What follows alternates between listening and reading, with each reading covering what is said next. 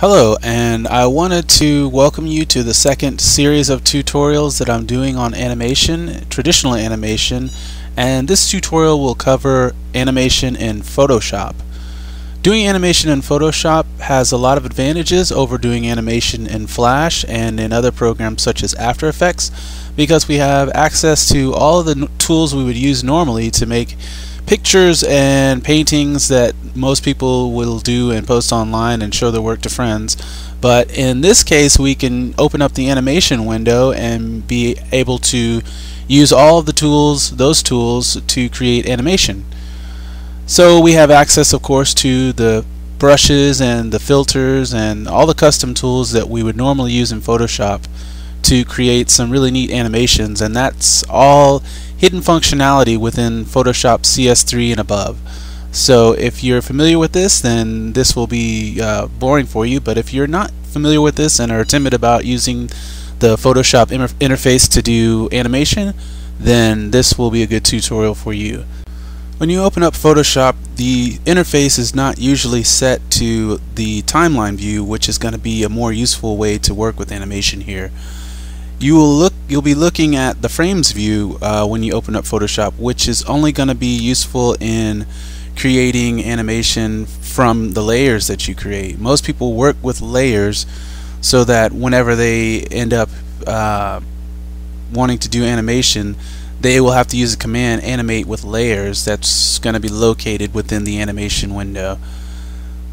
You'll have to create several layers in order to do this.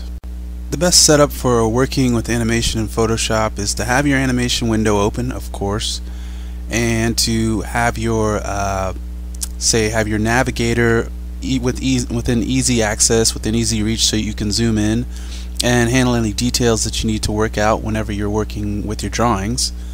And also, if you're working in actions palette, with an actions palette, it's definitely useful to have your actions palette set to button mode as opposed to command mode and I have created several actions which correspond with the animation setup workflow which I can just press in order to create the certain reaction that I need to create or to do any certain things that I need to do. These commands are all usually from the video layers palette which I can you know which you can access from the layers palette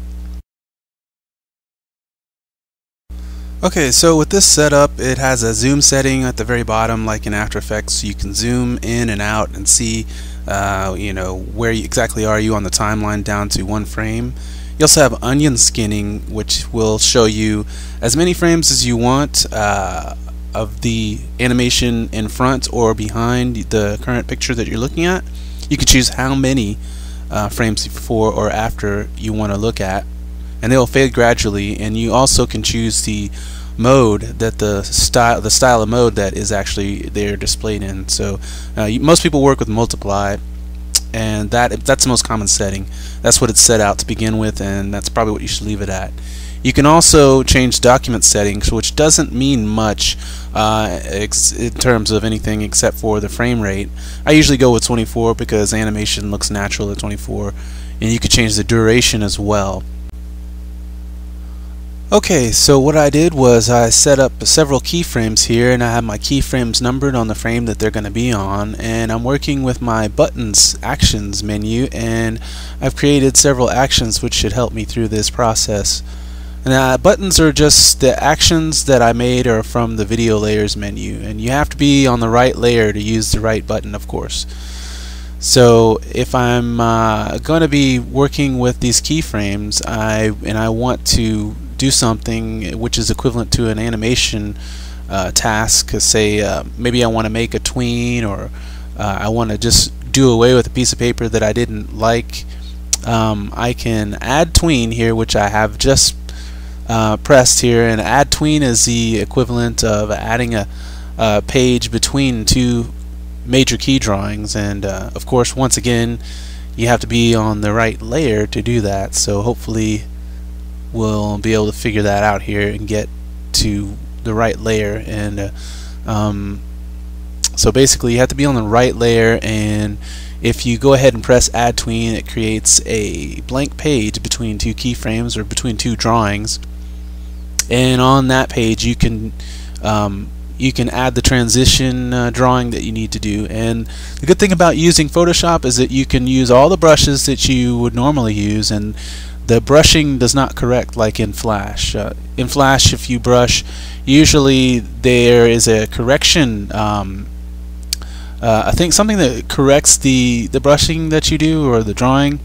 And I didn't like that so uh, if you come in at Photoshop you'll be able to draw whatever you like and it'll stay the way you drew it. So if you create a, a new drawing um, it should go nicely within the drawing that you between the two drawings that you make and you can also Xerox or erase. Uh, Xeroxing means you just add another uh, frame which means if you're animating on twos you can just Xerox everything. And if you erase it just means you didn't like the drawing that you made and it destroys the key drawing so you can either make another one or just not make one at all.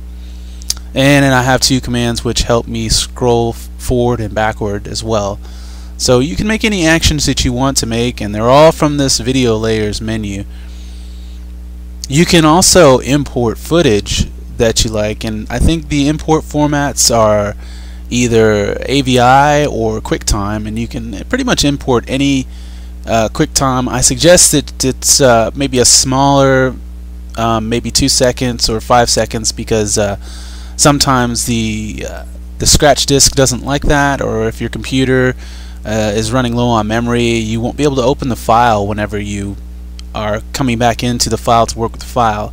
And when you import this video you can you can use it as a normal layer. Uh, of course it'll be a video layer but you can use it like you would normally use layers.